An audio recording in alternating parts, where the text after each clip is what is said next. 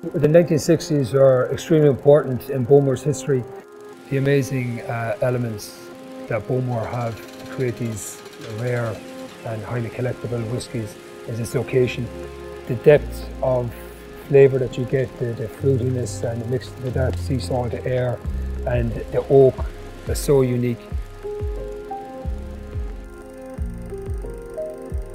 Islay is a very special place and there's a spiritual feeling to the island. It's a unique position in the world. You can feel the weight of the atmosphere on you when you're on the island. I think that has a massive impact to the creation of these whiskies.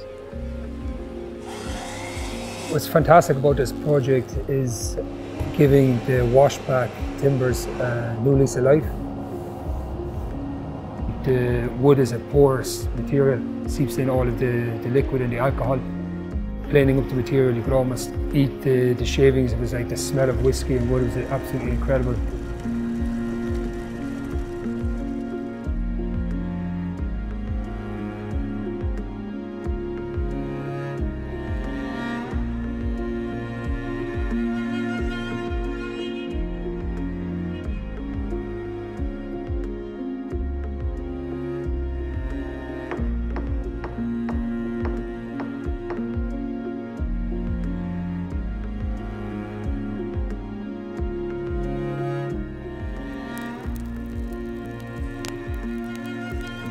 Because of the history that was in the, the washback wood itself, it just made complete sense that you were almost buying a piece of history, almost a part of the distillery to house this rare and precious whiskey.